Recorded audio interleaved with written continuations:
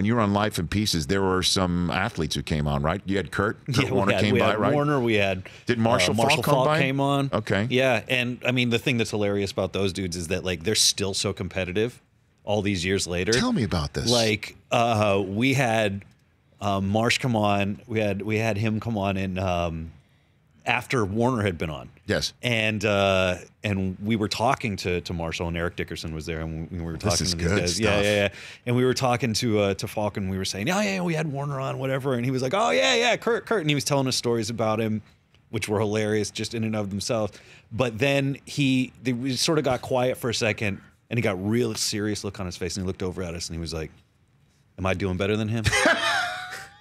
Does that sound like him Sounds or what? exactly like Marshall. That sounds exactly like Marshall. and it was legitimately terrifying to answer that question. So he directed that at you?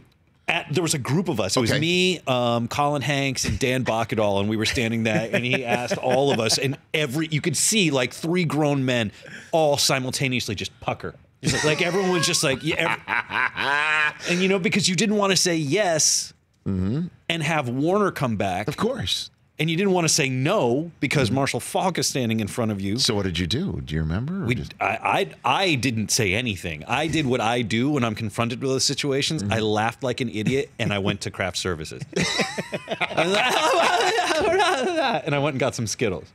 I left that. Or I a just smoothie. I just put like I put that turd in Hanks's pocket. I was just like, here you go, buddy. You you you handle this one. Good luck. That's amazing. so was he better than Kurt? I can't answer that question now, man. I, I'm I'm far We enough. don't have craft was saying there's no services. Skittles lying